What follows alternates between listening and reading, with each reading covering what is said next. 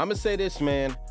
Uh, JJ, I hope you enjoyed those glory days with Kirk Cousins and having a Pro Bowl quarterback. Uh, even though I don't really like Kirk Cousins like that, but he is a good quarterback. He is above average. He's just hasn't done anything in the playoffs. But that's besides the point. This is a nightmare come true for Minnesota Vikings, bro. You guys let Kirk Cousin walk and he's now an Atlanta Falcon. Are you kidding me? Kirk Cousin a Falcon? Like, I'm not gonna sit here and act like I saw this coming. But I did know that like the Vikings were in a tough situation because they were gonna have to pay JJ and they were gonna have to pay Kirk Cousin monumental money. You can make the argument that you pay those two, you probably don't have the rest of the rest of your roster. So, but for Kirk Cousin leave Minnesota, Minnesota has no backup plan. I'm hearing talks about them going after Sam Darnold. Y'all better bring back Dobbs in this bitch. The fuck? Sam Darnold? If I were y'all, I'd get rid of JJ, bro. I'd keep it a bean, bro. Because what's the point of paying a superstar wide receiver $200 million if you're going to get below average quarterback play? Uh, Vikings, y'all fumbled this. I don't know how else to tell you. Y'all fumbled it. You're going to have to pay this dude upward of 150 mil and he has no quarterback. How far are you going to go?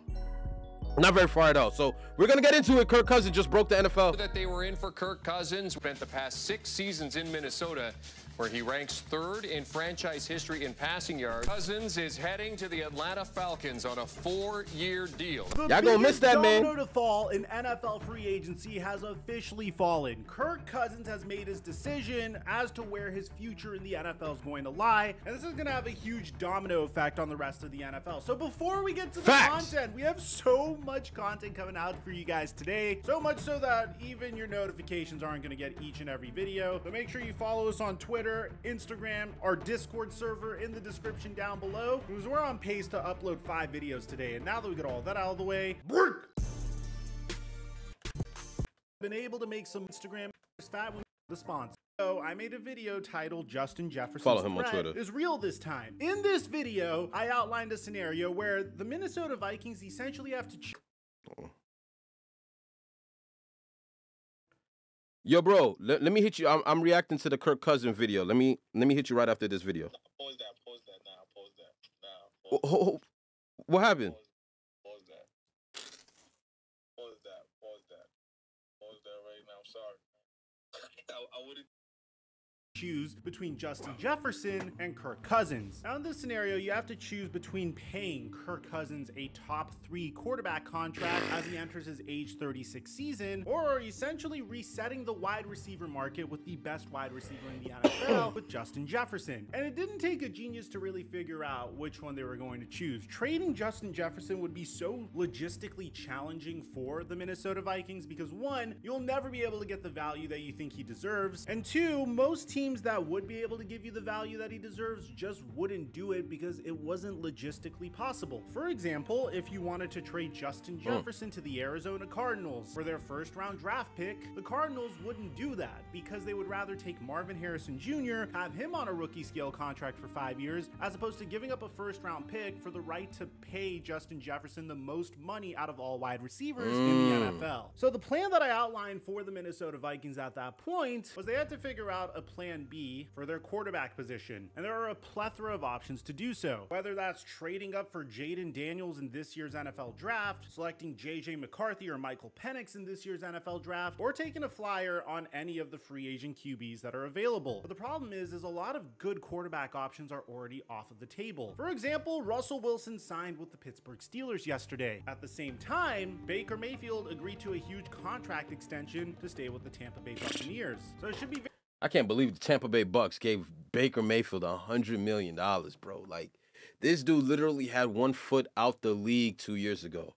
He's probably one of the worst quarterbacks ever. Before before Carolina even got Bryce Young, Baker Mayfield was calling snaps and they were atrocious. Like Baker, just the craziest underdog story you'll ever see. But for Baker to get a hundred million, son, I like, all right, bro. I'm not a hater, bro. Get your money, Baker.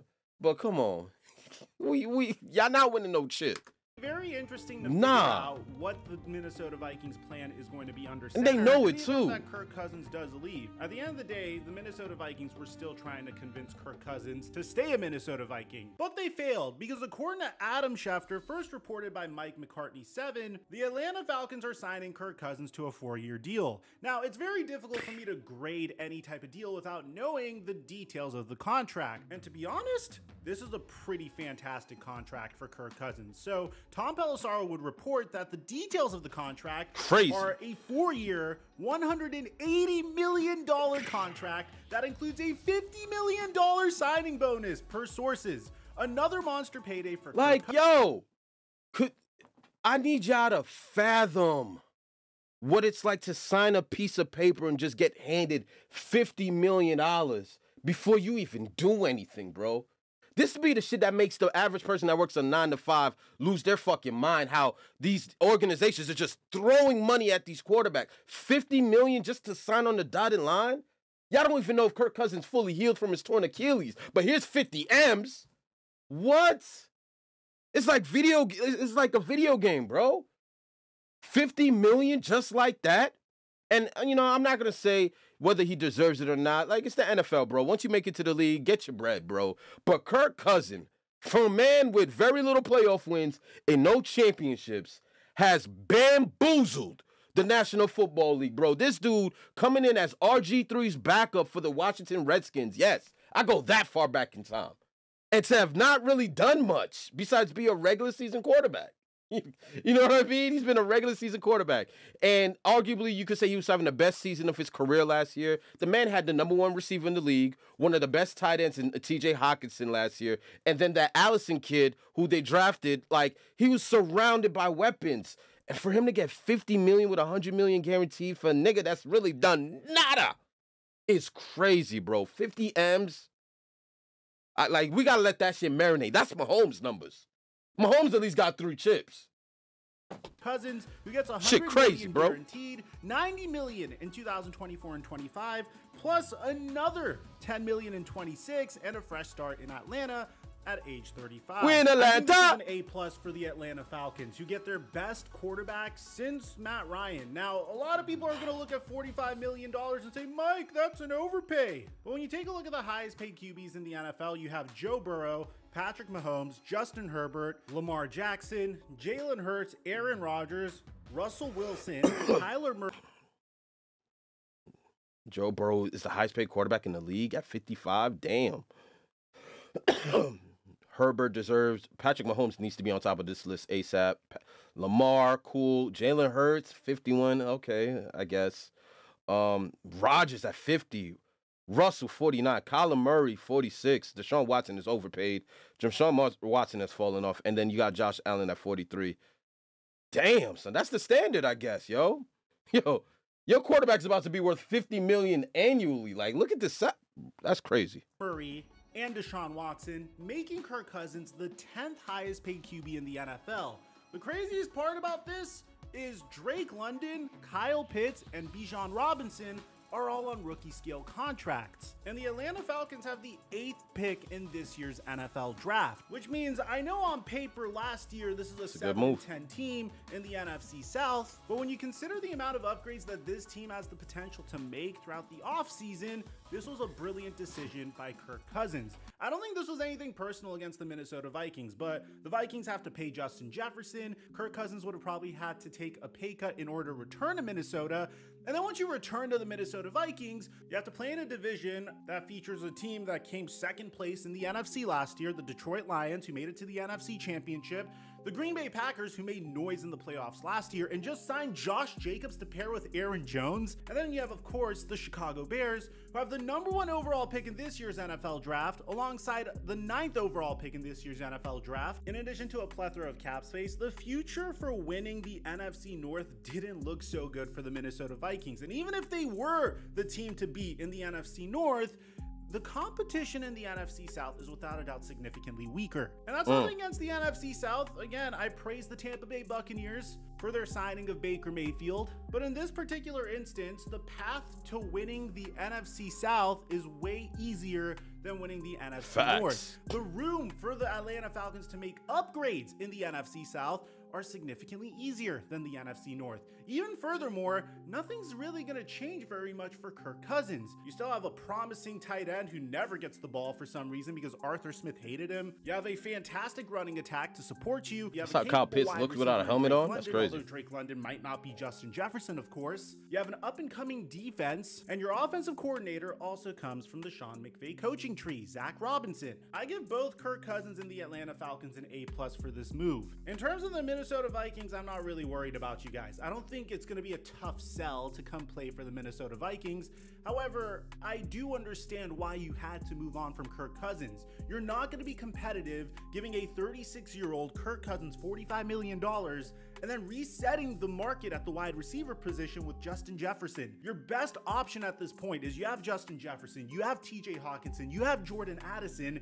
You want to find a quarterback on a rookie scale contract that are going to be able to find those wide receivers. And with the 11th pick in the first round of the NFL draft, you are bound to either have Michael Penix or JJ McCarthy slide to you. And if you really want to be aggressive, then you could trade up to the number three overall pick. And if you really love him, you could select Jayden Daniels. There's a lot of options for the Minnesota Vikings here. I understand why they couldn't continue with Kirk Cousins. And to be honest, I would say that it'd be a horrific mistake if they re signed Kirk Cousins. There is no question in my mind that Kirk Cousins' season ending injury this year is going to be one of the biggest what ifs in NFL history. He started out the season 0 3. Eventually, he was able to turn it around and go 1 4, narrowly losing to the eventual Super Bowl champion Kansas City Chiefs. He was on a three game winning streak before his season completely ended, and he was playing at an MVP type level before his season concluded. The fact that we never really truly got to see the potential of Kirk Cousins and Kevin O'Connell's offense does suck, kind of, but at the same time, I feel like the Minnesota Vikings have a plan in place, and it's something that Vikings fans Shit, they better. excited about. Let me know what you guys think in the comment section down below. On top of that, we have Saquon Barkley signing with the Philadelphia Eagles. We have Josh Yeah. Jacobs signing with the Green Bay Packers. We have Tee Higgins demanding a trade. We have Baker Mayfield agreeing to an extension. All of those are coming for you guys soon. I'll leave some existing content on the end screen. And aside from that, I'm your boy Mike, and I'm dropping our mic until our next upload. A lot of moves, a lot of splashes. I'm liking free agency so far, bro. I really am. It like it- it's it's new faces and new places. Yo, but this was Kirk Cousins just broke the NFL, and as far as the Vikings goes, y'all got to figure something out. I mean, obviously you guys are gonna go for a quarterback in the draft because you have way too many weapons to not have a quarterback. And right now, I think the Vikings are a little nervous because it's like, all right, shit, we don't got Cousins. Now let's just hope the the draft goes like we want it to go. Maybe we could get our guy. If we can't get our guy at 11, let's move up. Who knows? We'll see. But I didn't see Kirk Cousins to the Atlanta Falcons. Yeah, let me know in the comment section what you think. And Kirk Cousins just broke the NFL. This dude, bro, I swear to you, Kirk Cousins has made more money than Patrick Mahomes, bro. I'm telling you, it- it- it's crazy. I'm gonna holler at you guys next video. Hit the like and subscribe button for more content. I'm your host, Gabo Say So. Yeah, man. Rich keep getting richer.